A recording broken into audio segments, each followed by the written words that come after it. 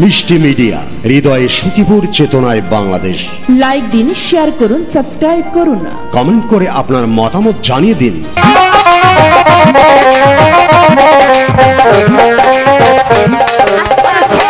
আমি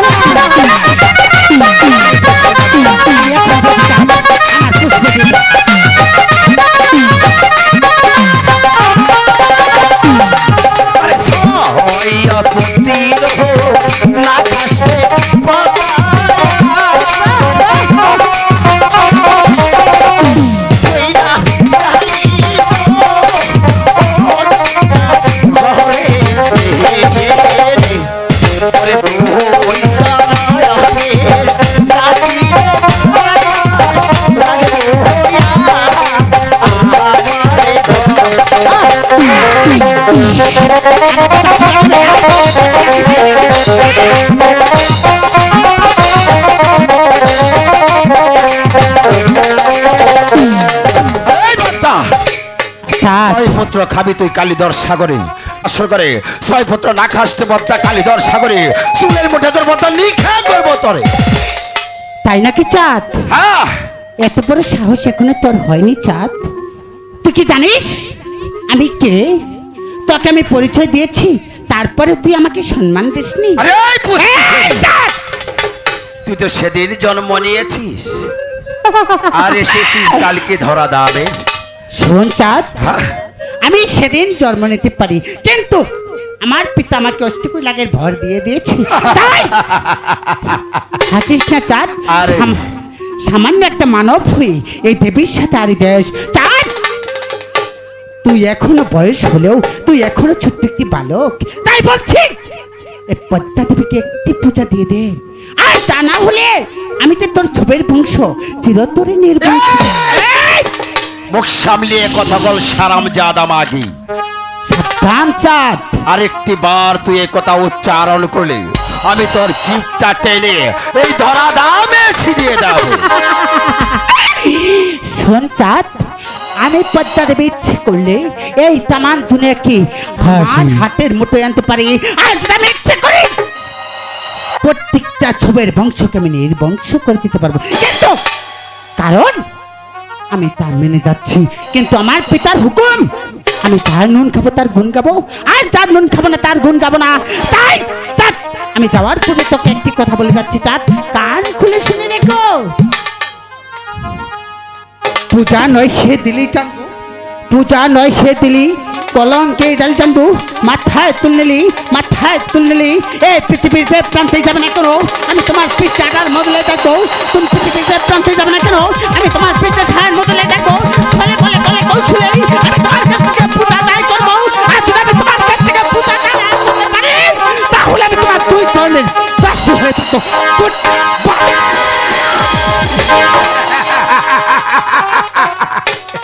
হাসালে পদ্মা। তুমি আমাকে হাসালে। আরে এই পদ্মা দেবী! যার নাম শুনে বাঘে মশে গাছে জল খায়। আর তুই তো সেদিন কেন পুস্কি সেরি। আর এই পদ্মা, আমার নাম সেই চাঁদ সদাগর। যতক্ষণ পর্যন্ত তোকে আমার প্রাসাদের ফুলদানিতে সাজাতে না পাবো ততক্ষণ পর্যন্ত আমার চরণে ফাঁসি তোমার দেবো ততক্ষণ পর্যন্ত আমি সমাদেবী মহাদেবের একমাত্র ভক্ত। আমার নাম চাঁদ সদাগর। হ্যালো, নানির বলে বই থাকে। আজি খেতা বিজিলে যেমন তেমন বালি বিজিলে শুকায় না।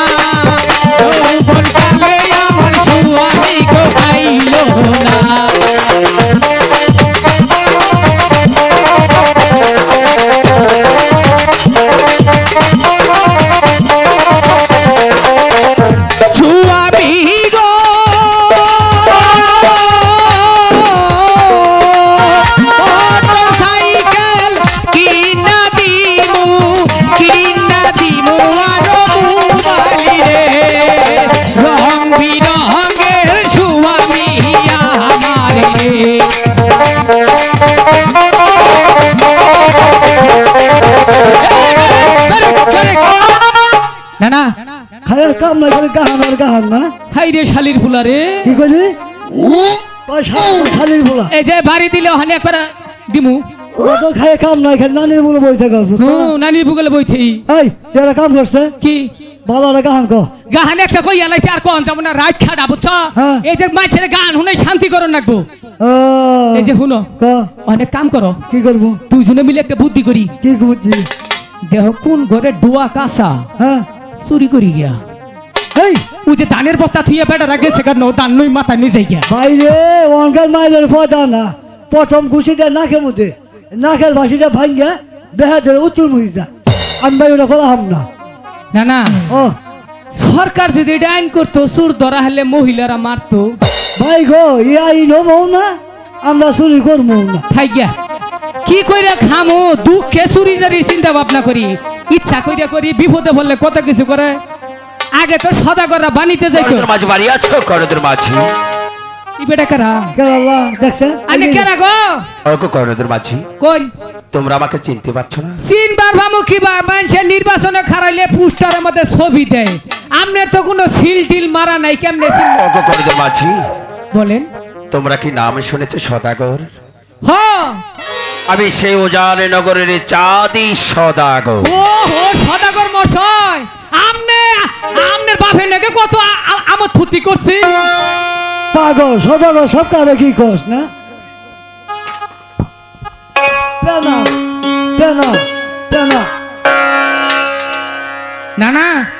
এটা কি করলাম। তাহলে আমার কাছে কবা না আমি তো পিছেই বললাম।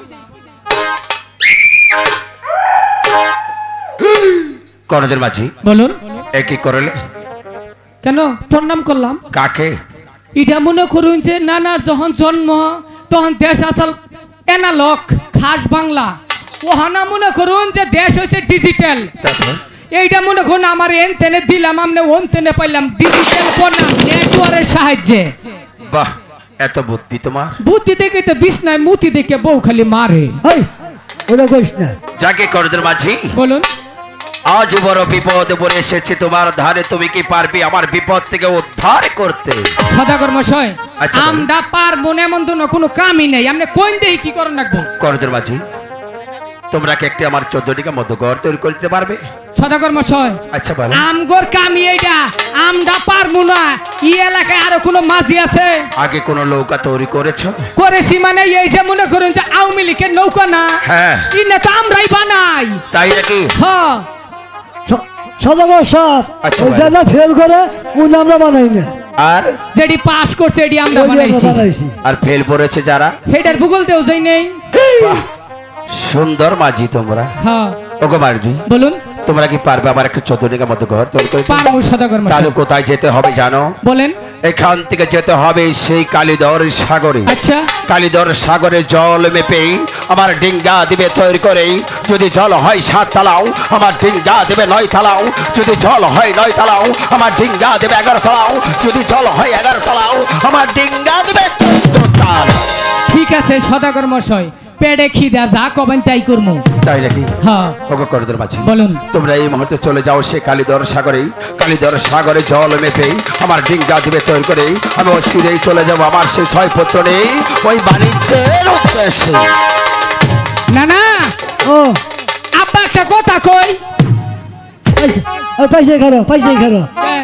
কয় আব্বা কয় না না কয় শালিনী বলা। আব্বা দেখেন যে তোমার বাবা কইলো।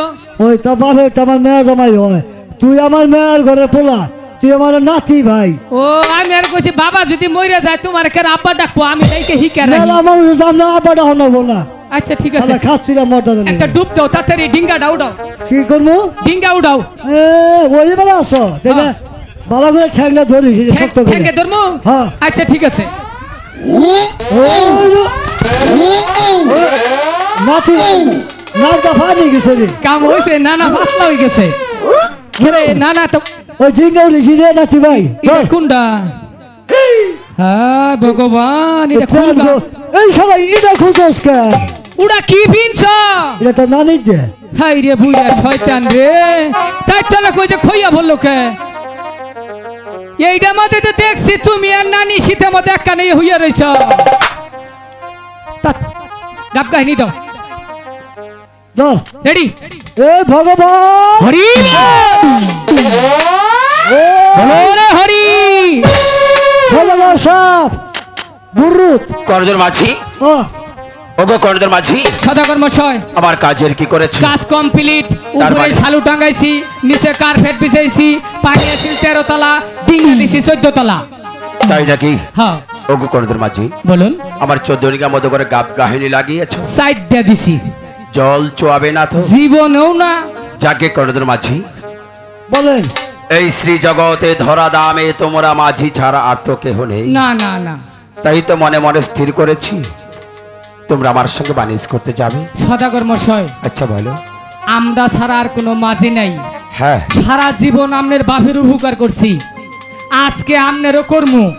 তো বলেন খালি কবে কোন সময় যাউন লাগবো মাঝি? বলুন। তোমরা এই মুহূর্তে তোমার নির্বাসিত হয়ে তোমরা চলে যাও গৃহধামে।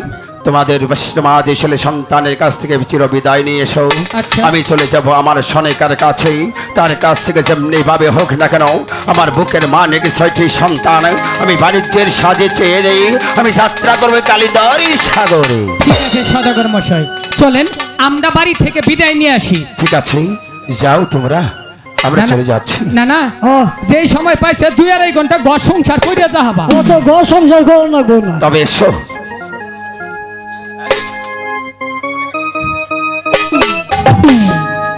না আমি আমার সনেকার কাছে যাব। আর যেমনি ভাবে হোক না কেন আমি আমার ছয়টি সন্তানকে বিদায় করে নিয়ে যাব। সনেকা সনেকা। ওগো সনেকা। হ্যাঁ, বলুন কেন আমাকে আপনি স্মরণ করেছেন? তোমাকে একটি কথা বলব। একটি কেন? আপনি পাঁচটি বলতে পারেন। ওগো সনেকা হ্যাঁ বলুন।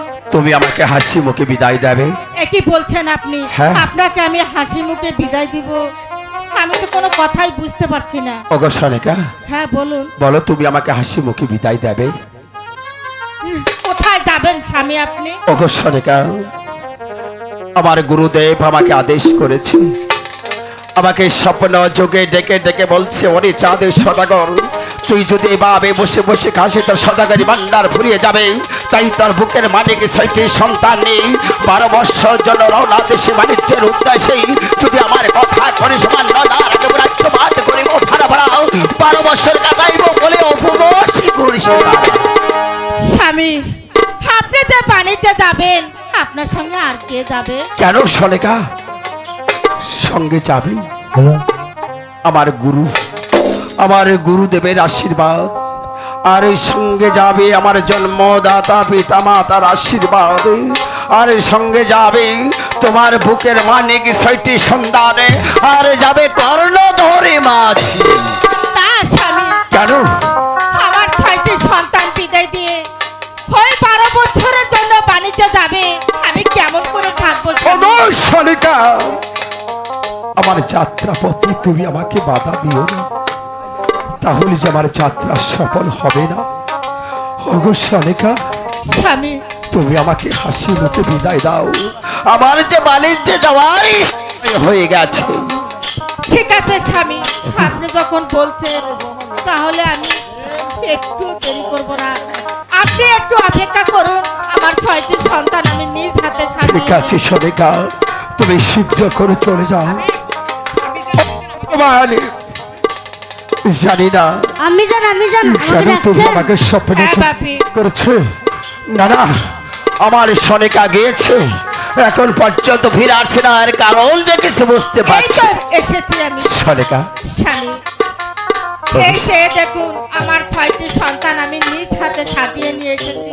সনিকা আপনি বারো বছরের জন্য বাণিজ্যে যাবেন তাই আমি নিজ হাতে সাজিয়ে নিয়ে এসেছি। সনিকা তুমি তোমার বুকের মালিক ছয়টি সন্তানকে তুমি হাসি মুখে বিদায় করে দাও ওরে মানিক ওরে বাপি তুমি তোমার আম্মি জানে কাছ বিদায় নিও বাবা মানিক আমার কি না গেলে হয় না বাবা ওরে বাপি তুই তো সদাগর বংশে জন্ম নিয়েছিস তোকে যে বাণিজ্যে যেতেই হবে আর বাণিজ্যে না গেলে আমার গুরুদেবে আমাকে অভিশাপই করবে।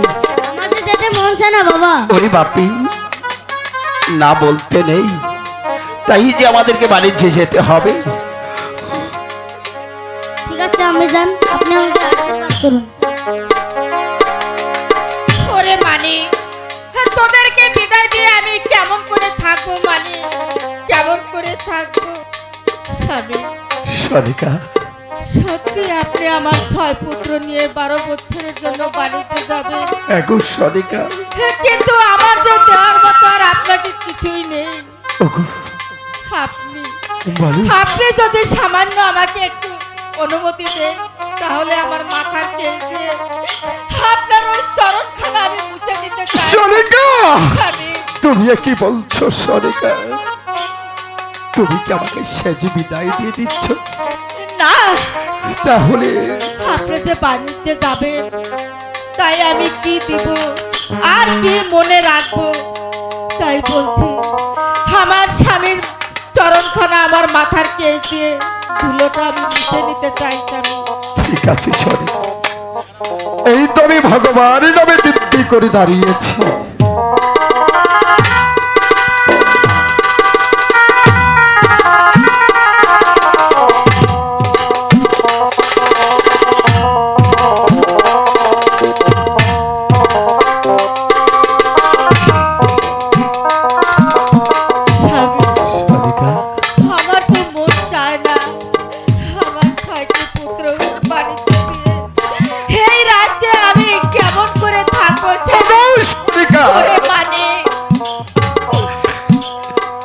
শত কাঁদলে যে তুমি আমাদেরকে রাত ধরে রাখতে পারবে না। আমাদেরকে যে বাণিজ্যে যেতে হবে সনিকা ঠিক আছে স্বামী। আমি আপনাদেরকে হাসি মুখে বিদায় দিলাম। হ্যাঁ সনিকা আপনারা যেন ভালোভাবে আমার বুকে আবার ছয়টি সন্তান নিয়ে যেন ফিরে আসে বিদায়। বিদায় স্বামী। বিদায় বিদায় সনিকা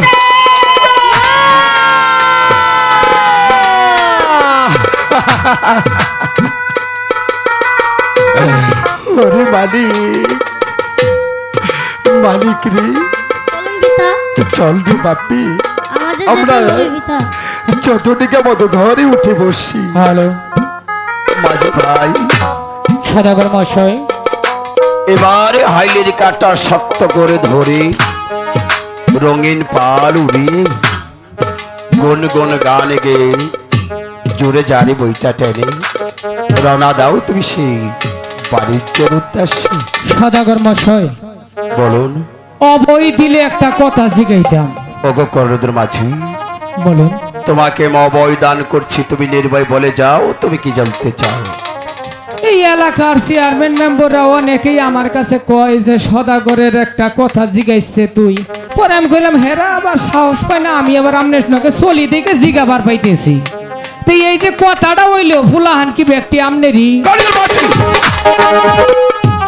কাজ করতে এসেছ তুমি কাজ করে যাও। হ্যাঁ আমার আমনের থেকে না মানুষের থেকে? হেডে নাকি আমার থেকে কি? মানুষেদের গরুর ফার্ম মাছের ফার্ম আমনে দিছেন ফুলাহানের ফার্ম। ও নাতি ভাই এই যে এইটা রাত থেকে হিয়ার কথা করছে। মাঝি ভাইয়া। যাও